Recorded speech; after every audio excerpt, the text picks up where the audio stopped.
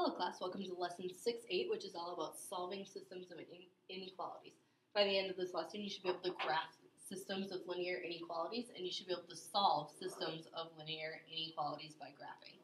So I'm just going to give you a quick little reminder of what graphing an inequality looks like. That's where we ended up having our dashed lines, and then we would shade, okay? So now, today, our goal is to take those different graphs and say, okay, where does our shading overlap? So see, if you look at this, where do I have both the blue and the orange?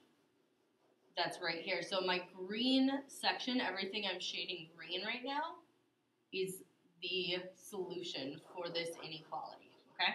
So that's what we're going to practice today. So first we're going to start by remembering what it's like to graph inequalities. So if we start with our letter A, we have y is less than or equal to negative 3. Remember when you have a y and equals or an inequality symbol, that's a horizontal line. Okay, so I find where does y equal 3? y equals 3 here. And I have y is less than or equal to. That or equal to, remember, means it's a solid line. So I draw my arrow, and I look back, and I have to decide which side of the line I'm shading. y is less than negative, or y is less than or equal to 3. So that means I'm going to shade everything below this line that I just drew. Now, I have x plus y is greater than 1. So there's a couple ways you can graph this. Remember, you can either graph it just like it is in standard form, or you can solve it for our slope-intercept form. Either way works. I'm going to graph it just how it is, but the x plus y is greater than or equal to 1. I know I'm going to have a dot at both 1 and 1. If I make y 0, I have x plus 0 is greater than 1, so I have to put a 1. Greater than or equal to, so it has to be 1. And same thing. Now I just have to connect those. It also is an or equal to, so that means it's going to be a solid line going down. Like that. Sorry, that was a terrible arrow. And now, instead of focusing on where these two lines intersect, remember, we have to test where the shades. So if I try plugging in the origin, and I say 0 is greater than or equal to negative 0, that's just 0, plus 1. Is 0 greater than 1, greater than or equal to 1? No. So I look, I find my origin, I know that's not true, so I have to go to the other side of my orange line and shade the other part. Now, to finish it off, I look, where do I have my overlap of, sorry, I should have shaded that orange. Where do I have my overlap of the orange and purple? My overlap of orange and purple is all of this right here.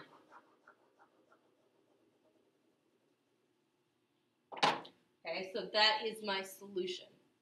I highly recommend that when you're graphing these, you use multiple colors, whether that means highlighters, colored pencils, crayons, markers, whatever you need in order to be able to tell what parts have been shaded multiple times.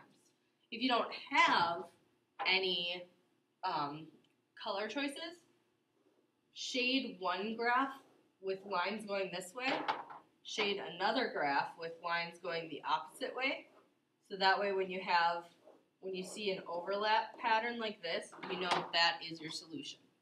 Okay, so I highly recommend that if you don't have the option of color. Let's try letter B. We have 2x plus y is greater than or equal to 2. So if I graph that, I know my x has to be at 1, my y is at 2, and I have an or equal to, that means I'm going to have a solid line going on. So I'm just going to connect my dots with a solid line. Just like that. And now I have to figure out which side I am going to shade. So I have 2x plus y is greater than 2. So if I plug 0 in for x and y, if I plug 0, 0 and test the origin, 2 times 0 is 0 plus 0 is greater than or equal to 2. Is that true? No. So I know I need to shade the opposite side of the line from the origin. Okay. Now let's try another line. We have 2x plus y is less than 4. So I know my x is going to be at 2, my y is going to be at 4, and it is less than. So there's no or equal to, that means I'm going to have a dashed line. Okay, so I'm going to draw a dashed line.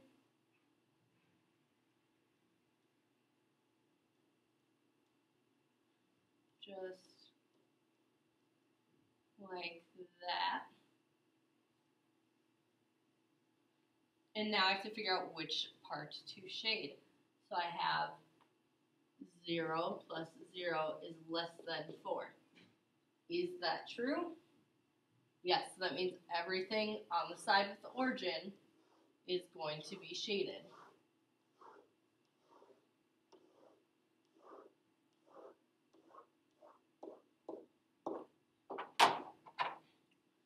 That means that the only place there's overlap between these two is a really narrow section between our two lines. That's the only place our purple and orange graphs are overlapping. Okay, so that would be my answer for letter B. Let's try another one. I know these can be kind of tedious and confusing, so we're going to do you know, four examples right away here. So again, letter C, I have a y is greater than or equal to negative 4. So I look, where's y equal to negative 4? And I draw a line right there. And it is greater than negative 4. That means it's going to be all of this area up here meets the criteria for my graph. Okay. Now, let's graph the other one. We have 3x plus y is less than or equal to 2.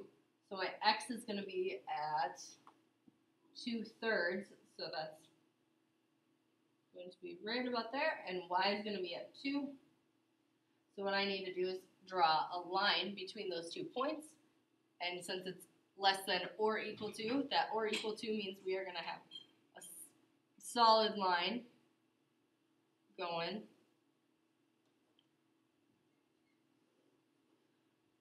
And now I need to test my point to see which area to shade.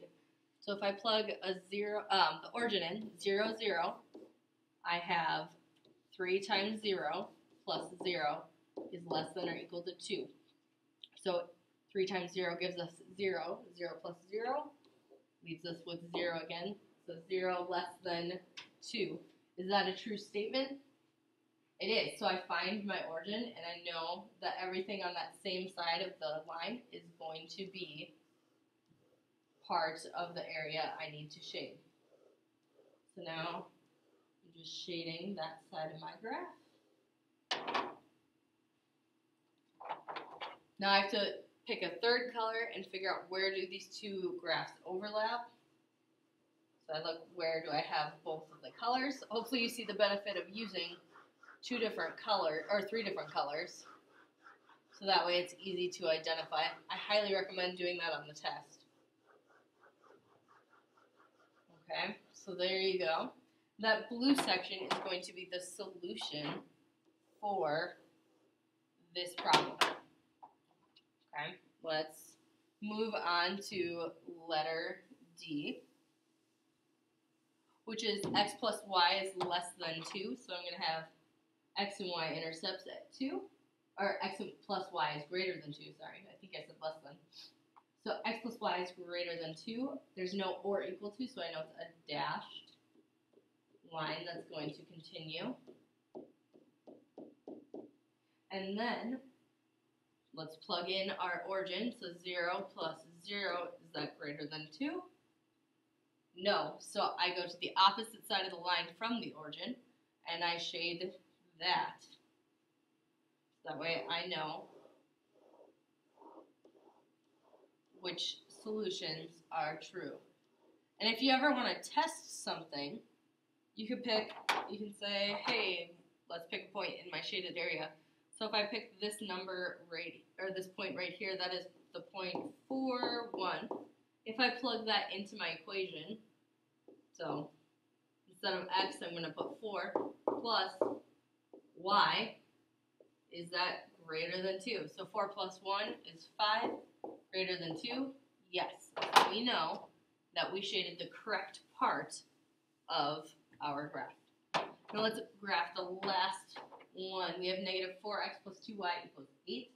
So x, my x-intercept is at negative 2. My y-intercept is at 4.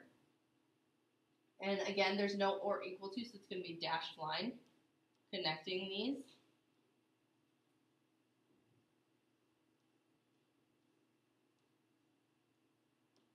And now I need to test to see which side of the graph I need to shade. So if I plug in 0, 0, the only reason I choose 0, 0 is because 0 is typically an easy number to work with. Because 0 times anything gives me 0. So I can make my x and y terms equal to 0. So is 0 less than 8? Yes. So I know the side with the origin on it, that needs to be shaded.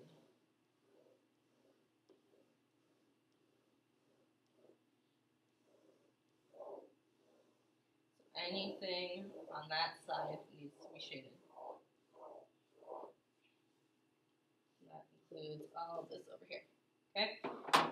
Finish it off by shading the area that is in common between the two graphs. So that's all of our area here. Okay hopefully this is starting to make sense for you. We're going to move on to another one. We're going to look at y is greater than 3. So I look, it's in, there's no or equal to, so it's going to be a dashed line.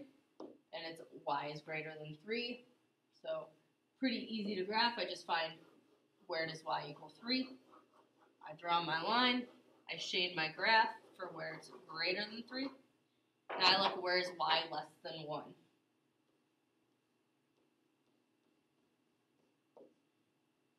Y is less than 1, anywhere below that. So there's my two graphs. Continuing on, I always, my next step is always to shade the region that they have in common, the place where they're both shaded. But if you look at this graph, they don't touch. These two lines don't touch. When they don't touch like this, that doesn't mean you're wrong. It just means that your answer is no solution. If you end up with a system of inequalities where the shades or the shading part on the graphs don't overlap, that is called no solution. There's nothing in common between those two inequalities. Go ahead and try this one on your own, see how you do. Hopefully you ended up with graph D for your answer. Um, go ahead and try another one. And then hopefully you said no solution or null. All right, let's take a look at example three, which is all about fundraising. The theater club is selling shirts. They only have enough supplies to print 120 shirts. They will sell sweatshirts for $22 and t-shirts for $15 with a goal of at least $2,000 in sales. First, we want to define the variables and write a system of inequalities to represent this situation. Okay, so we know that there are a total of 120 shirts. We're dealing with sweatshirts, Okay, I am just going to call those W. And then t-shirts, I'm going to call those T, okay? So we have sweatshirts and t-shirts. And they have enough to print 120 total. So if I do S, or sorry, not S, W plus T, I know that I our club has enough for 120 shirts. So does that mean are there enough for 118? Yes, because that's less than the 120. But if I said, can we print 122? Hopefully you say no because that's greater than the amount we are allowed. So I need the total number of items sold to be less than or equal to the 120 shirts that are available for printing. My next one, my next equation, we have the sweatshirts selling for $22. So I'm going to say 22W plus 15T. And then I have to figure out, I want to get at least $2,000 in sales. At least $2,000. So which way do I need to have my inequality symbol pointed? Well, excuse me, if I want at least 2,000, that means my sales have to be greater than 2,000, right? Greater than or equal to the 2,000. So I want my sales to be greater than the 2,000. They have to be at least 2,000. Okay, so that's what I would write for my system of inequalities. Then I would go and I would practice graphing um, just to save time. I already have it graphed for you and it shows you the overlap. And then continuing on, if I ask you to name a possible solution, all you have to do, look for the shaded region, find a point in the shaded region, and that's going to be a solution. So the point I just made is that 90 sweatshirts so 90 sweatshirts and 20 t-shirts. And I put them in that order because the X and Y axis. So 90 sweatshirts and 20 t-shirts. That is a possible solution. But what about letter D? Is 45, 30 a solution? So if I go out to 45 and I go up to 30, is that a solution? No, because it is not in the shaded area.